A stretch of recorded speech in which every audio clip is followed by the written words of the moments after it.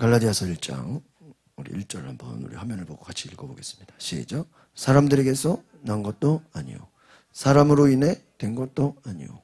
오직 예수 그리스도와 그분을 죽은 자 가운데서 살리신 하나님 아버지로 인해 사도가 낸 나 바울과 제가 어, 이번에 좀 수련회에서 조금 안타까웠던 일이 강사들이 한 많아요. 많은데 제목은 쥐저스 알미예요. 그 예수 군대야. 그래서 옷에 막 예수 군대 막 쥐저스 알미. 그리고 주제가 현수막에 예수를 따르자야. 근데 뭐 북한 선교 하시는 분은 북한 선교 얘기하고 6.25 얘기하시는 분은 6.25 전쟁 얘기하고 어, 문화에 대해서 얘기하시는 문화의 분 얘기하고 뭐 유대인의 교육에서 유대인 다 강사들마다 자기 설교를 하잖아요. 자기 분야 전문가가 있으니까. 근데 제일 중요한 건 강사들마다 자기 전문 분야를 설교하고 간증하고 뭐 이야기를 하는데 그 어떤 강사도 주제가 주저스 알미고 예수를 따르자인데 3박 4일 내내 예수님을 얘기하는 강사가 한 명도 없었어. 의자에 앉아있는 시간이 아침 7시부터 밤 10시까지 하루 종일 설교 듣고 예배만 하는 거예요. 뭐 찬양 가수가 오지도 않고 뭐 노는 프로그램도 없고 하루 종일 뭐만 듣는 거예요? 찬양하고 설교 듣고 기도하는 거예요. 그 많은 시간을 강사들로부터 세미나를 듣고 간증을 듣고 교육을 받는데 현수막에다가는 예수를 따르자라고 해놓고 누구 이야기가 없어요? 예수 이야기가 하나도 없어. 십자가라는 단어가 거의 없어. 그러니까 찬양에는 많아. 왜 찬양은 음, 다 그런 찬양들이니까. 찬양과 기도에는 많아요. 근데 제일 중요한 설교 메시지에는 예수님을 따르자고 해놓고 누가 없어요? 예수님이 없어. 호두 과자에 호두가 없어. 단팥빵에 단팥이 없어.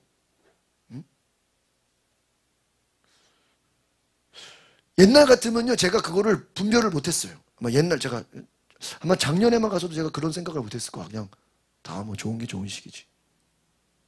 요즘엔 제가 이 복음에 대한 굉장히 그 거의 뭐 제가 지난주도 다른 복음을 빠지지 말자. 지난 우리 주일에도 은혜의 복음이 얼마나 중요한지. 그 메시지 가운데 십자가가 없고 예수가 없고 은혜라는 단어가 없어. 이게 우리가 그냥 아 뭐 그냥 그럴 수 있지 이가 아니라 매우 심각한 일이라는 거예요. 현수막에는 예수를 따르자고 해놓고 예수님을 어떻게 따라야 되는지 예수님을 따르는 게 무엇인지 예? 예수님을 왜 따라야 되는지에 대한 설명이 아예 없어. 그냥 상투적인 거야. 십자가가 없어. 기도할 때 십자가 그림은 많이 나와. 그러나 그 십자가의 의미가 무엇인지가 없어요. 뭘 해라? 이거 하지 말아라. 이거 해라, 저거 해라. 이건 많은데 은혜가 없어. 은혜라는 단어를 말하지 않아. 왜 그럴까? 우리가 지난 주일에 설교한 것처럼 십자가의 그 구원의 은혜를 경험하지 못하면 다 인간은 율법주의나 세속주의나 어떤 엉뚱한 복음에 다 빠지게 되어 있다. 여러분 성경의 모든 내용들을 잘 보면요. 오늘 아침에도 집사님과 성경 공부를 3시간을 했어요. 제가 요즘 성경을 다시 보면서 은혜의 차원으로 성경을 보고 있어요. 은혜죠.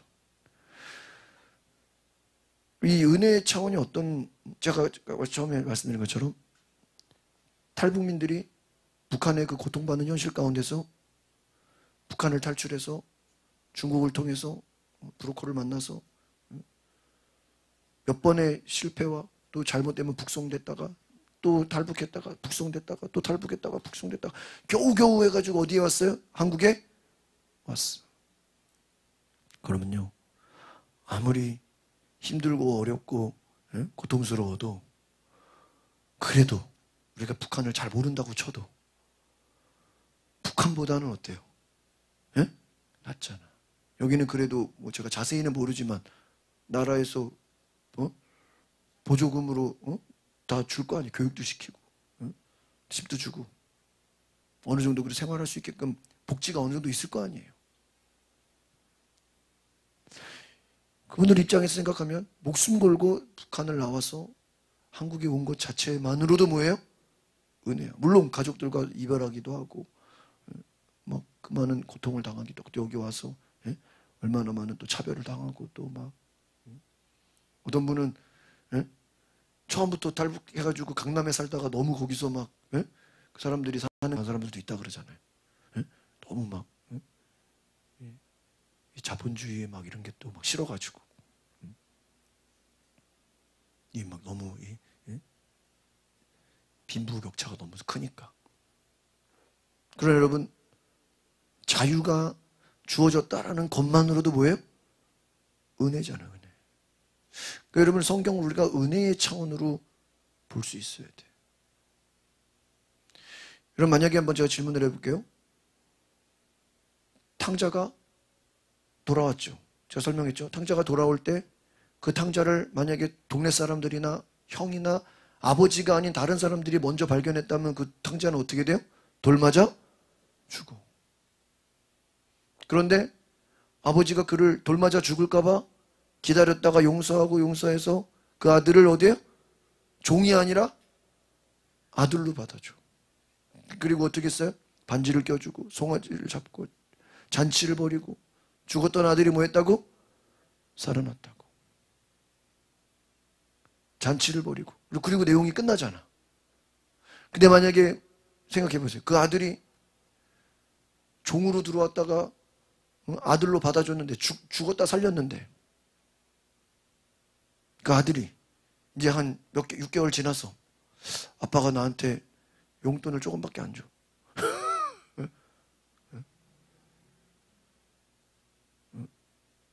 용돈을 조금밖에 안 준다고 불만을 느껴서 다시 한번 집을 나가야 되겠다고. 아버지의 금고를 털어서 이제는 유산을 달라고 하면 안 되니까 아버지 몰래 아버지 통장과 아버지 재산을 빼돌려서 집을 나갔다고 친다면 또 속으로 그렇게 생각하겠지. 이 돈 다 쓰고 어? 다 떨어지면 뭐 하면 돼? 돌아오면 돼. 돌아오면은 또 아버지가 뭐를 해줄까? 에? 그 집사님. 또 잔치를 벌여줘? 김 기사님 어떻게 될 것 같아? 어? 또집 나간다면 어떻게? 또 집, 또 아, 버지 재산을 또다 가지고 또 방탕하게 또한 번 집 나갔어. 잡아줘. 또 어? 왜? 어차피 또 다 쓰고 거지가 돼서 돌아오면 아버지는 나를 위해서 또 잔치 벌려주고 가락지 껴주고 어? 죽었던 아들이 어? 또 돌아왔다고 맞이해 줄 걸로 생각해서 만약에 그렇게 또 집을 나갔다고 치면 가출했다고 치면 우리는 뭐라 그래요? 뭐를 모르는 자야? 은혜를 모르는 자인 거예요. 모르는 자. 그러니까 하나님의 은혜가 주어지고 주어지고 주어지지만 이게 뭐 어느 정도 품어주고 품어주고 품어주다가 도저히 안 될 경우에는 하나님이 내버려 두는 경우도 있어요, 없어요? 있어요. 어, 다시 우리가 은혜의 차원으로 제가 돌리면 사도 바울은 자기가 율법으로 모든 것이 완벽하고 히브리인 중에 히브리인이고 뭐 자기가 그냥 최고의 그 바리새인 중에 바리새인으로서 자기가 자기 나름대로는 흠이 없고 부족함이 없다라고 뭐예요? 생각한 자예요. 그, 그 결과가 뭐죠? 예수 믿는 사람들을 죽이는 거예요. 교회를 없애는 게 하나님의 뜻이에요. 그러니까 열심으로는 교회를 핍박할 만큼 뭐가 많은 거예요? 열심히 뛰어난 거예요. 나름대로는 완벽한 거예요. 왜? 예수 믿는 자들 이단으로 생각했기 때문에 이단을 뭐 해야 돼요? 없애야 되잖아요. 그렇게 생각하고 그것이 교회를 없애는 게 하나님의 뜻이고 예수 믿는 자를 죽이는 게 하나님의 뜻이라고 생각했는데 나중에 제가 예수님을 만나고 예수님을 음성을 듣고 그가 회심한 이후에는 자기의 과거가 얼마나 창피했겠어요. 내가 지금까지 내 열심으로 내 생각으로 내 노력으로 했던 모든 것이 다 뭐예요? 이게 너무나도 뭐예요? 응? 부끄러운 과거가 된 거야. 꼬리표가 된 거야. 기독교를 박해하지 않았으면 중간 갈 걸. 너무나 박해하고. 그냥 아, 예를 들면 안티 기독교가 갑자기 그냥 예수 믿으면 이상하잖아요. 그런 사람이 예수를 믿고 나니까 이 본인이 오늘 뭐라 그래요? 사람에게서 난 것도 아니죠. 왜? 이 말은 뭐죠? 누가 바울을 전도한 게 아니야. 그쵸? 누가 바울을 전도해? 전도하다가 죽으려고. 사람으로 인해 이 사람은 누구를 얘기하는 거 부모 형제를 말하는 거예요. 만약에 부모가 기독교인이었으면 자기 자녀들도 기독교인일 거 아니야. 그러니까 누가 전도한 것도 아니고 부모 형제가 자기에게 복음을 전한 것도 아니고 그냥 길을 가다가 예수 그리스도께서 그냥 부활하신 주님이 사도 바울에게 어떻게 하신 거예요? 나타나신 거예요. 이게 뭐예요? 엄청난 은혜인 거예요. 엄청난 은혜. 그 여러분 성경은 여러분이 보면서 뭐를 발견해야 되냐면 은혜를 발견합시다. 이게 어떤 거냐면 오늘 제가 새벽에 에녹에 대한 설교를 했는데 에녹이 65세에 무두셀라를 낳아요. 65세에 무두셀라를 낳는데 그 65세부터 하나님과 동행을 해. 300년을 살고 하나님 나라로 올라가 버려. 죽음을 보지 않고. 그러니까 이 땅에서 산 기간이 365년이야. 근데 65세는 어떻게 살았어요? 내 뜻대로 사는 거야. 65세까지는 내 뜻대로 살다가 65세에 무두셀라를 나면서 하나님과 동행하게 돼요. 그런데 이 무두셀라 뜻이 하나님의 내 하나님이 심판한다는 내용이 있어요. 그리고 그 나이대별로 나중에 쭉 보면요. 그 노아의 홍수가 그 제가 나중에 숫자로 한번 기회가 되면 얘기해 드릴게요. 노아의 홍수의 그 연도랑 그 무두셀라 그 중에 연도가 그게 딱 일치가 돼요. 무슨 말이냐면은 무두셀라를 날 때 하나님이 에녹에게 계시를 하신 거야. 하나님의 이런 계획이 있다. 그러니까 에녹이 하나님과 동행했다는 말이 어떤 거냐면 응? 에녹이 하나님과 동행했다는 게 그냥 우리가 하나님과 내가, 내가 동행하기 원합니다. 주님 나와 함께 해서 이런 그런 개념이 아니라 새벽에도 말씀드리면 히브리 말로는 이것을 하나님이 몰아가신다는 거예요. 그 예를 들면 기도원이 갑자기 타작마당에 있는데 천사가 나타나서 너는 큰 용사다 이러잖아요. 그러면 자기는 사사가 되려고 한 것도 아닌데 갑자기 하나님이 사사로 어떻게 해요? 몰아가죠. 모세가 지도자가 되려고 한 것도 아닌데 갑자기 떨기나무가 보이더니 막 가서 보니까 어? 신을 벗어라 그러더니 너는 어? 지도자가 되라 그러잖아요. 바로에게로 가라. 자기는 전에 사람 죽였는데 어? 모세도 살인자 아니에요. 그러니까 나 가면 죽습니다. 가, 가라. 모세가 가고 싶어서 간게 아니야. 하나님이 모세에게 미션을 준 거예요. 여러분, 직분이라는 것이 사명이 직분이에요. 그러니까 여러분이 뭐 집사냐, 권사냐, 장로냐, 목사냐 이게 직분이 아니야. 성경적으로는. 그거는 그냥 어떻게 보면 호칭이야, 호칭. 성경이 말하는 정말 직분은 뭐냐면요. 사명이야, 사명. 하나님이 바울을 부를 때 뭐라고 불렀어요? 처음부터 난, 나는 이 바울을 이방인의 전도자로 불렀다 그랬어. 그러니까 여러분이 정말 하나님 앞에서 내가 누군지를 알아야 돼요. 굉장히 무서운 말이에요. 그러니까 저로 말하면 내가 목사잖아요. 어, 하나님 날 목사로 불렀다. 그러면 어떤 일을 하는 목사로 불렀느냐 여기가 돼야 이, 이 여기까지 가야 되는 거예요. 어떤 일을 목사들도 목사들 중에 목사들도 하는 일이 얼마나 다양해요. 예? 부흥사도 있고 교수님도 계시고 사회운동하는 분도 있고 그죠? 예? 그냥 자기 교회 목회만 하는 분도 있고 뭐 저처럼 찬양하는 사람도 있고 뭐 예? 목사도 다양하잖아 하는 일이 하나님이 어떤 목사로 불렀냐는 거예요. 어떤 일로 너를 불렀냐는 거예요.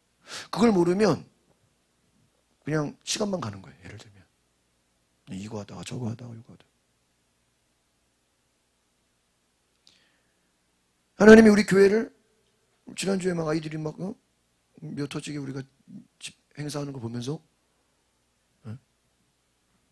그 윤정훈 집사님이 목사님 기적입니다 기적. 자기는 지금 눈앞에서 기적을 보고 있대. 이런 교회에서 아이들이 이렇게 수십 명이 모여서 예배하고 프로그램 돌리는 걸 보면서 자기 할아버지 교회가 몇천 명인데 애들 이, 이 정도도 안 모인대. 제가 월요일 날 저녁에 비 그렇게 오는데 송도에 엄청 큰 교회 장로교회 수련회 하는 데 가봤는데 그 교회 몇천 명 교회인데도요? 중고등부 서른 몇 명이에요. 여러분 4, 500명 모이는 교회가요 주일학교 20명, 30명도 안 돼요. 근데 지금 우리는 지금 막 수십 명 행사를 하는 거 보면서 와, 이게 이럴 수가 없는 겁니다. 막 놀래 놀래 놀래 하시는 거. 맞아, 아, 우리가 성교원에서도 아, 목사님 이게 성교원 한다고 이렇게 되는 게 아니라고. 요즘 누가 부모들이 애들을 이렇게 보내냐고. 아, 제 다른 교회들도 왔습니다. 아니 다른 교회 애들이라고 이렇게 쉽게 오냐고. 이분은 모든 게 다 뭐예요? 놀래는 거예요. 애들이 이렇게 막 모여서 막 예배드리고 막 찬양하고 막 그거에 그냥 보기만 해도 뭐예요? 기적이라는 거예요. 어? 이거 이게 이게 지금 내 눈앞에 보여지는 현실이 자기가 지금 기적을 보는 것 같다는 거예요. 여러분 그런 생각 해봤어요? 그리고 그냥 그런가 보다 하는데 외부에서 볼 때는 뭐예요? 이거는 일어날 수 없는 일을 지금 자기가 보고 있다고 얘기를 하는 거예요. 제가 깜짝 놀랐어요. 그래서 이건 하나님의 역사입니다. 예? 하나님이 살아계신 분입니다. 막 그 성경 학교를 보면서 예? 이막 예? 하나님이 막 주님이 여기 계시고 막 완전히 막 난리가 났어. 어, 엄청난 은혜라고 지금 얘기하고 있는 거죠. 하나님의 은혜의 차원이 어떤 개념이냐면은 에녹이 자기 뜻대로 자기 원하는 대로 65세를 살았어. 근데 어느 날 무두셀라를 낳게 하면서 하나님이 뭐예요? 그 계시를 주신 거야. 뭔가, 뭔가 꿈과 환상과 어떤 뜻을 주신 거야. 그러면 그때부터는 그 꿈과 계시가 너무 무서워서 너무 두려워서 그 무두셀라를 낳고부터 65세부터는 내가 하고 싶은 대로 내 뜻대로 살 수가 없는 거야.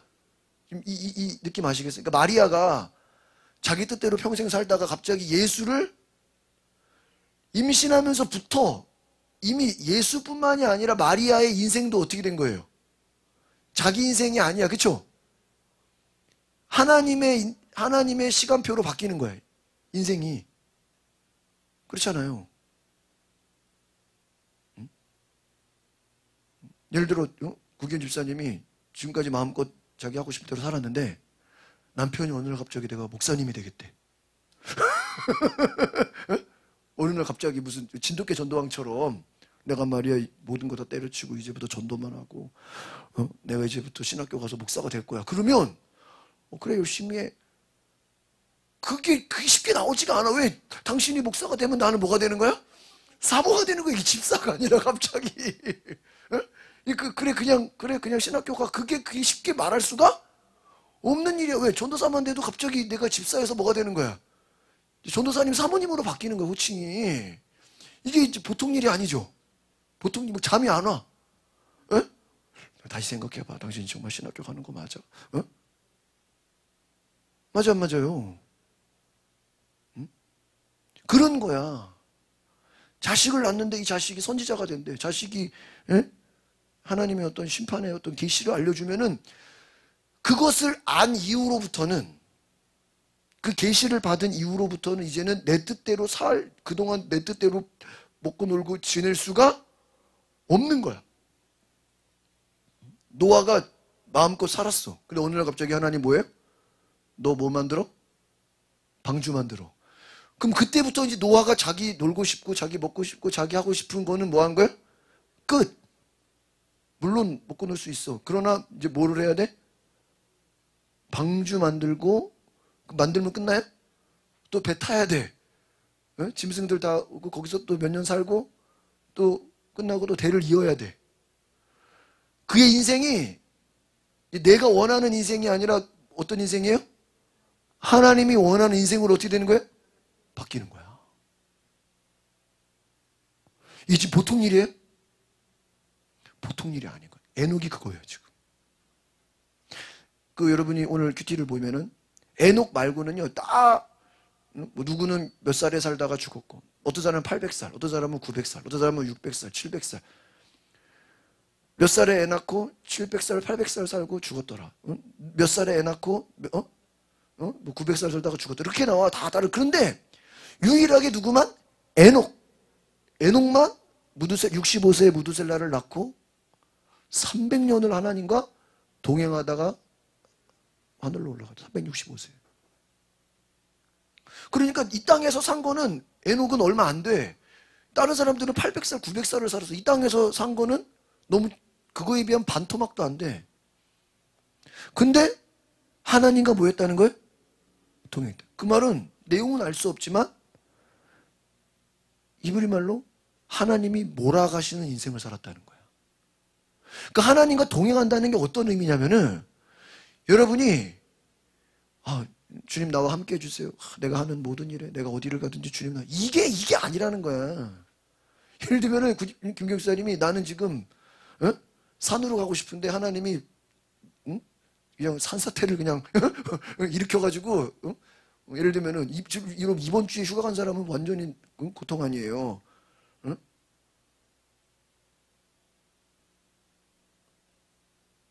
저도 어제 뭐 다른 어디 가려는 그 지방 가는 약속이 있었는데요. 다 취소해 버렸어. 비가 많이 와가지고.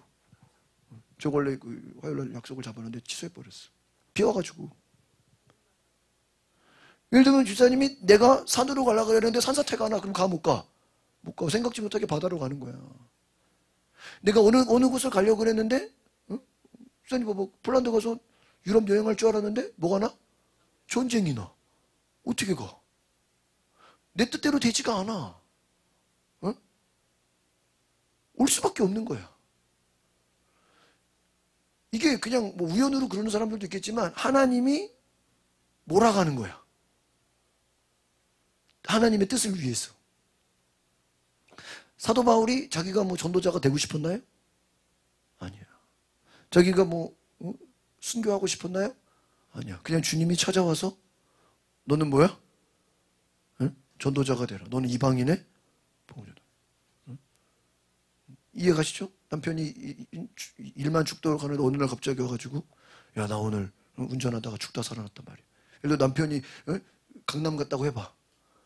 물에 빠져도 죽다 살아놓고 차는 버리고 몸만 살아왔어. 그러더니 야 나 오늘 죽다 살아났는데 신학교 가야 되겠다. 그럴 수 있어 없어 만약에 그러면 이제 그때부터는 이제는 내 인생이 아니라 어떻게 되는 거예요? 어? 어? 죽다 살 여러분 마틴 루터가 처음부터 종교개혁이 아니었잖아요. 그는 법학과였는데 친구가 같이 길을 가다가 벼락 맞아 죽었어. 그걸 보다가 아, 인생 아무것도, 인생 무상 아무것도 아니구나.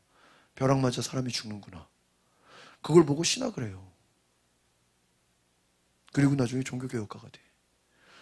그에게 친구가 벼락 맞아 죽는 사건이 없었다면 종교개혁이 없었을 수도 있는 거야. 하나님의 어떤 몰아가는 뜻이 있는 거야. 여러분, 주님과 동행한다는 게 보통 일이 아닌 거예요. 그냥 내가 무슨 일을 하든지 뭐 주님이 함께 해주시면 감사하죠. 그건 내 생각이야. 하나님은 무섭게 찾아오셔서 선택하셔서 하나님이 은혜를 부어줘요. 근데 그 은혜에는 사명이 있어. 어떤 이제 요거 얘기만 끝낼게요. 은혜가 어떤 개념이냐면 어, 창세기에서 아담과 하와가 선악과를 이미 창세기 1장부터 잘 보세요. 너희가 선악과를 먹는 날에는 뭐 한다 그랬어요? 죽는다 그랬지. 선악과 먹으면 뭐 한다 그랬어요? 죽는다 그랬어. 그럼 하나님 얘기했잖아. 그럼 우리가 잘하는 거죠. 잘 봐요.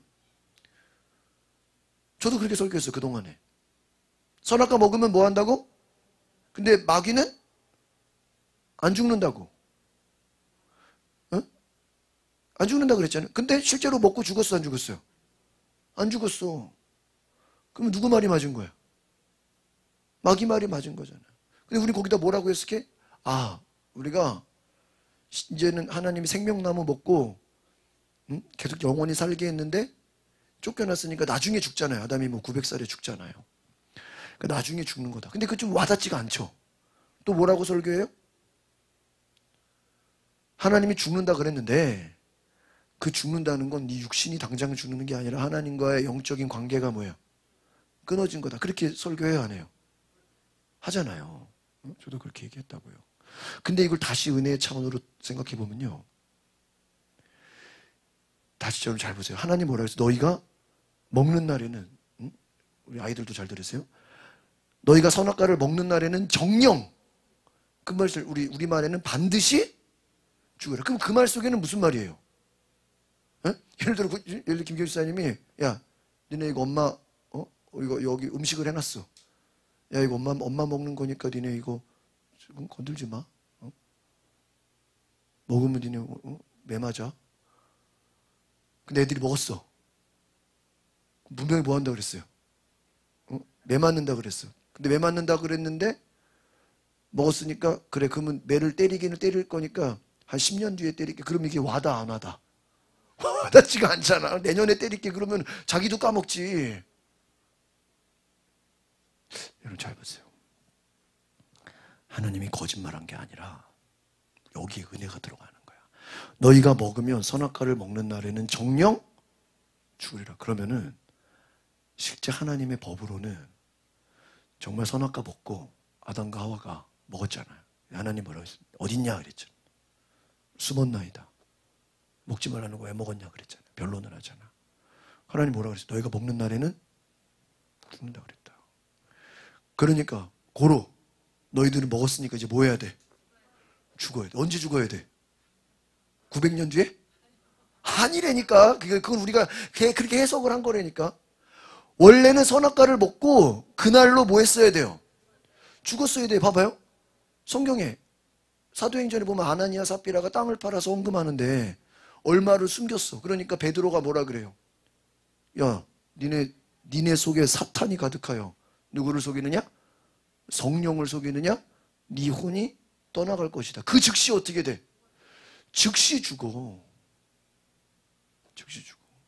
여호수아에 보면은 아간이 그 자기 물건을 어? 전쟁에서의 전리품을 땅에다 숨겨놓고 해가지고 여호수아 가서 그 즉시로 돌을 던져서 즉시 죽여. 그러니까 성경에 보면 실제로 즉시 죽는 일도 있어요, 없어요? 있어. 그러니까 그런 거로 보면 아담과 하와도 먹, 먹고 그날로 어떻게 해야 돼야 돼? 죽어야 되는 거야. 원래는. 근데 하나님이 죽어야 된걸 알고 얘기했는데도 쫓겨나는 걸로 뭐 한 거예요? 은혜를 베푼 거예요. 거기다 가죽 옷을 입히고. 그러니까 이걸 우리가 지금 선악과의 사건만 봐도 이미 아담과 하와는 그냥 먹고 그 자리에서 뭐 했어야 돼요? 응? 독약 먹고 죽는 것처럼 그냥 그 즉시 죽으면 끝이야. 그럼 다시 하나님은 뭐 하면 돼? 제2의 아담과 하와를 또 만들어서 다시 또 하면 돼. 그리고 또 걔네들 또 먹으면 뭐해? 또 죽어. 어? 어? 먹고 죽, 왜? 안, 안 죽는 애들 나올 때까지 뭐 해야 돼? 죽이고 만들고 죽이고 만들고 해야 돼. 그런데 하나님이 은혜를 베푸셔서 원래는 죽어야 되는 아담과 하와를 뭐 한 거야? 은혜로 살, 살려주신 거야. 그 뒤에 무슨 사건이 나오죠? 가인이 아벨을 죽여. 그럼 보세요. 사람을 죽였어. 선악과 따먹은 것도 나쁜데 선악과만 따먹어도 뭐 한다 그랬어 하나님이. 근데 선악과 따먹은 게 아니라 사람을 뭐 했어? 죽였어. 선악과 따먹은 것보다 사람 죽인 게 더 무서운 거 아니에요? 그러면 하나님이 그 죽이는 거 봤어 못 봤어요? 봤잖아 가인이. 그러면 그 가인도 뭐 해야 돼? 죽여야 돼 하나님의 법으로. 왜 미리 얘기했잖아. 죄가 문 밖에 널 다스린다. 너는 조심해라. 미리 경고했어요 안 했어요? 경고했어. 그러면 이 가인도 그 즉시 어떻게 돼야 돼? 하나님이 번개를 쳐서 응? 하늘에서 돌, 돌을 퍼버서라도 뭐 해야 돼? 죽였어야 돼. 그런데 죽였어요? 안 죽였어요? 안 죽였어. 그리고 그냥 응? 저주를 줬어. 여러분 이 두 가지 사건만 봐도 이미 똑같이 뭐죠? 선 아담이나 하와나 가인이나 얘네들 싹 다뭐 했어야 돼요? 그 자리에서 죽었어야 돼. 북한이 왜 무섭냐? 막, 막 난리 나잖아요? 그, 그 어디를 갔는데, 그, 김정은이 거북이 자라 있죠, 자라. 자라 그 키우는 공장에 갔는데 걔네들이 많이 죽은 거야. 그래가지고 김정은이 시찰 가가지고 여기 왜 이렇게 자라가 많이 죽었냐고. 그러니까는 그 주의, 그 공장 대표가 공장장이 전기 공급을 똑바로 해줘야 자라가 살죠. 네? 이 나라에서 뭐를 공급 안 해줘서 전기를 공급 안 하니까 네? 자라가 죽죠. 그 산소가 공급이 돼야 되잖아요. 네? 무슨 약재로 쓰는. 뭐를 한 거예요? 변명을 한 거야. 대꾸를 한 거야. 김정은이 딱 저놈은 땅에 묻을 가치도 없어. 그럼 보이부가 끌고 가지고요. 예? 그 화염, 화염 방사기로 시체도 다 태워버린대요. 그 즉시 끌고 가서 저런 놈은 땅에 묻어. 그러면 즉시 땅에 묻는 거예요. 지금도 북한은 김정은 말 한마디면 즉시 뭐 하는 거예요? 땅에 묻어요. 여러분, 무서운 시대죠.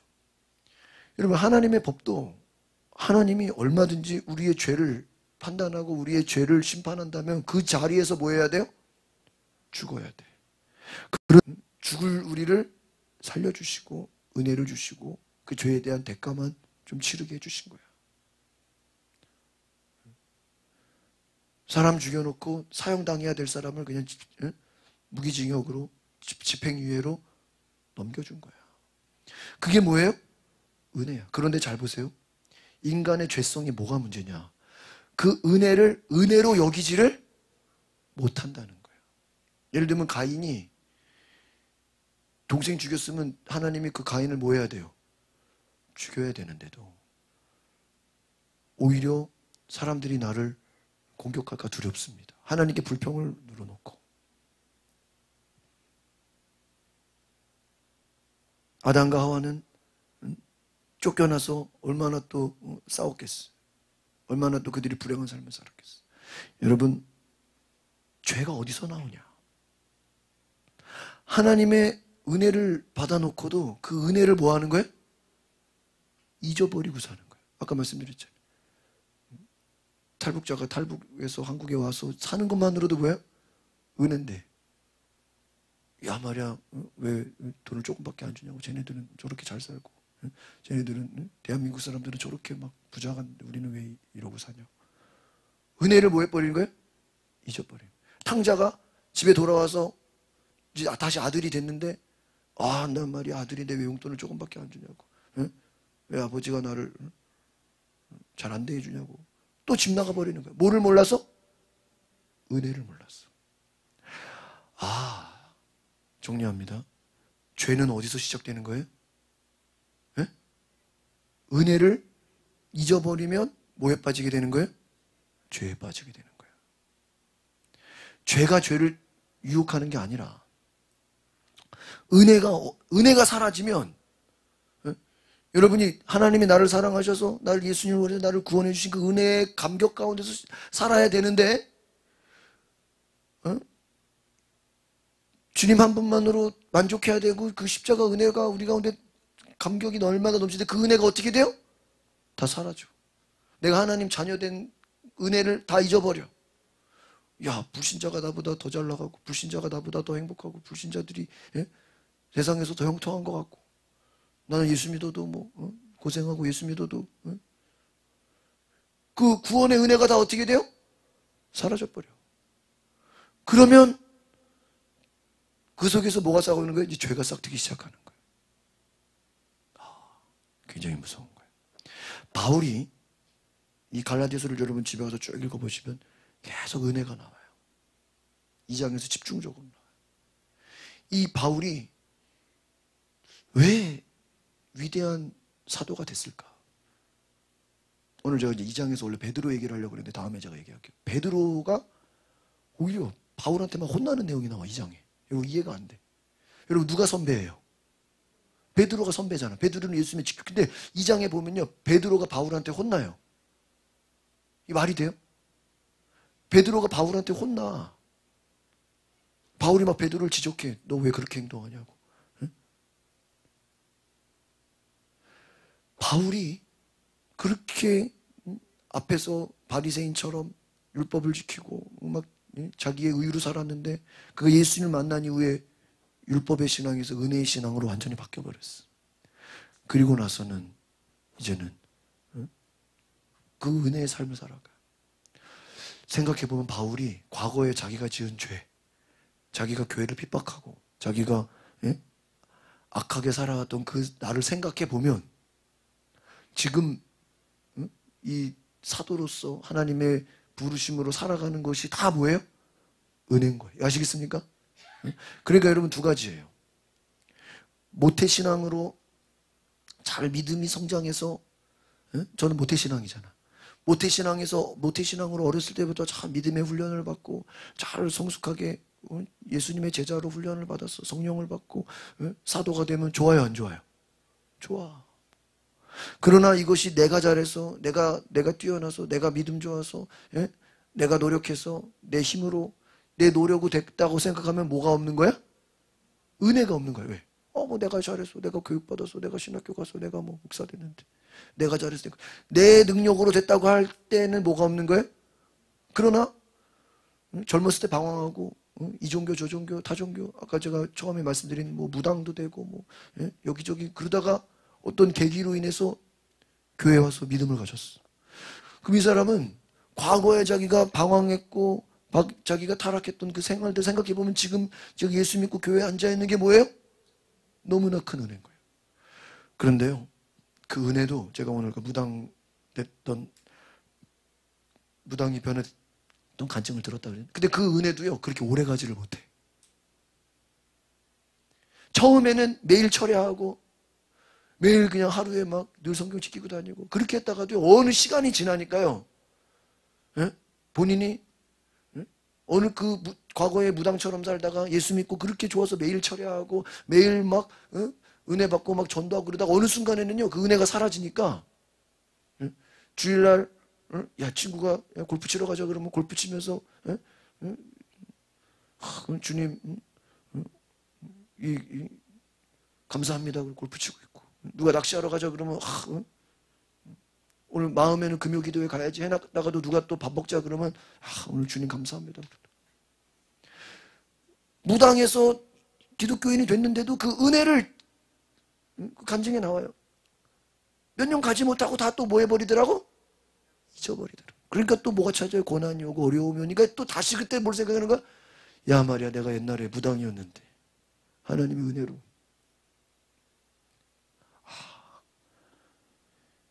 왜 타락을 하고 왜 죄를 범하고 왜 불순종하게 되죠?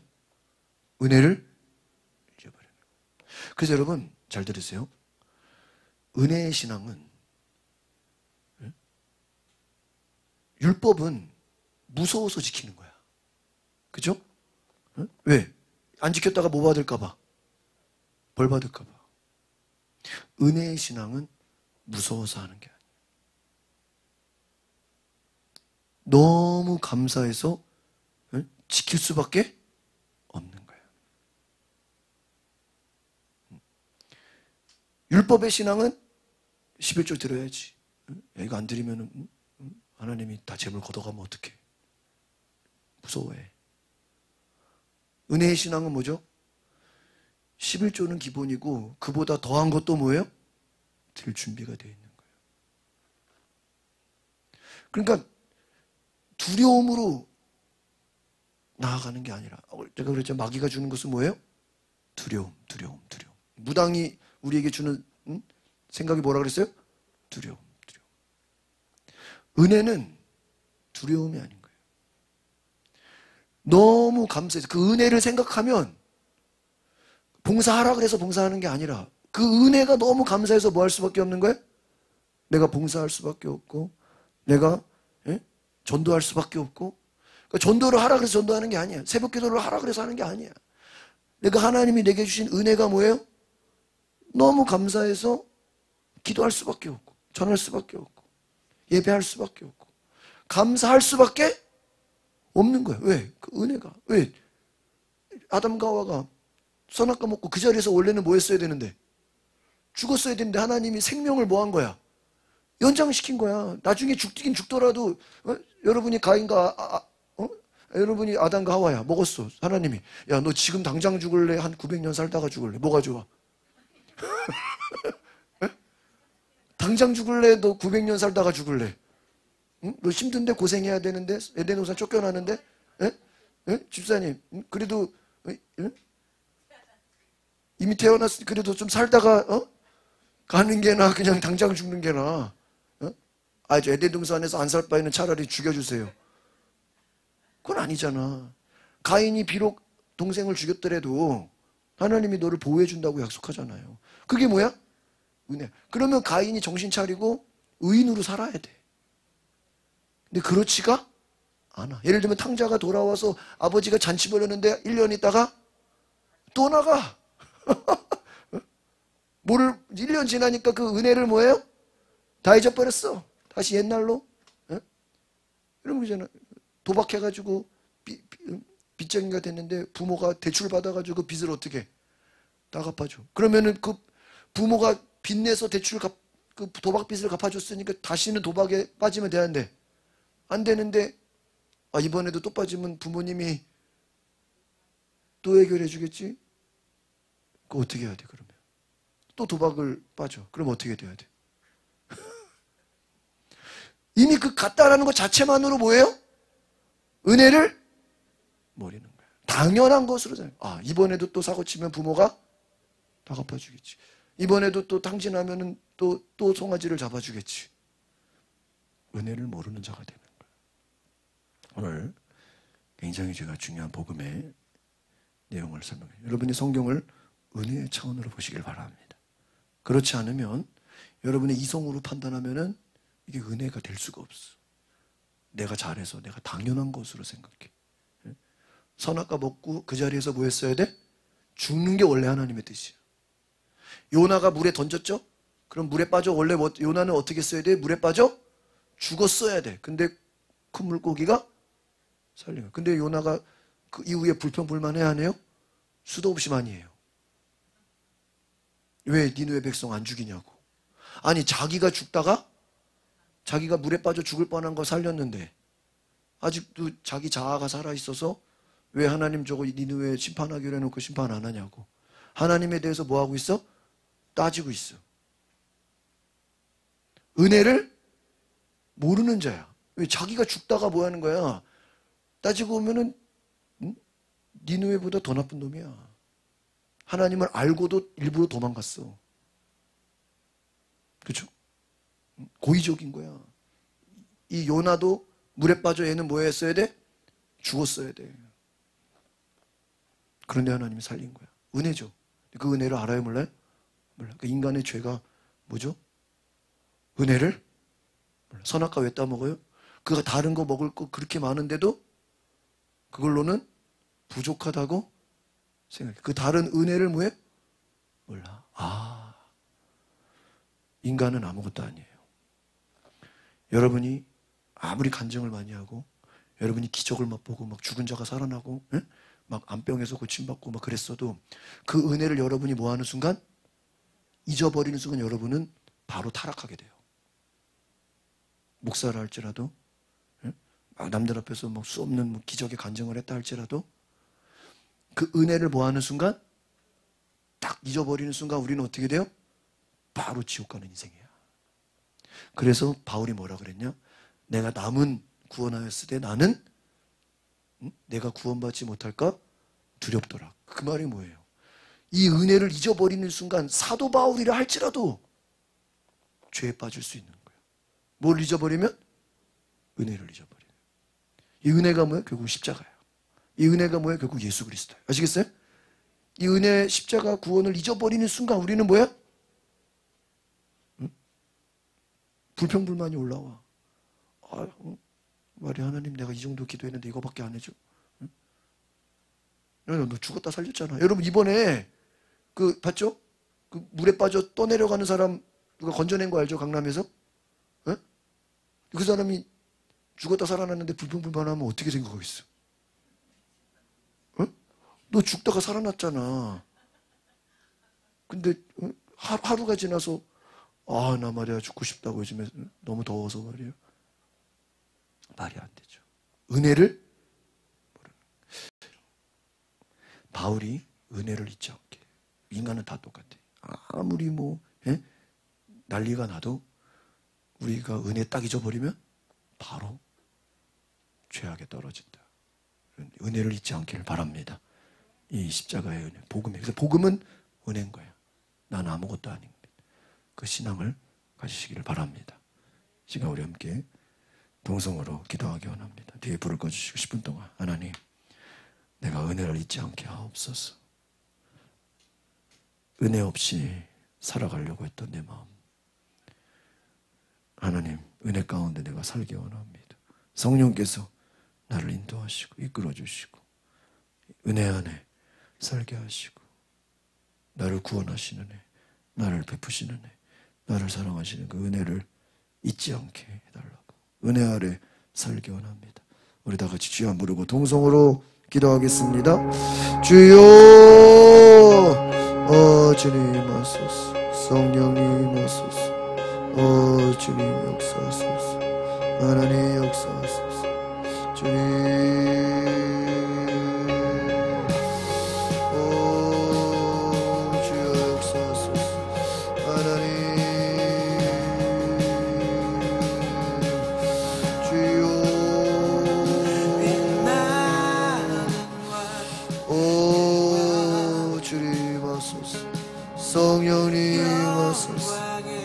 하나님 주의 나라 오게 하소서 주의 음력사소서 그 은혜를 잊지 않게 하소서 오.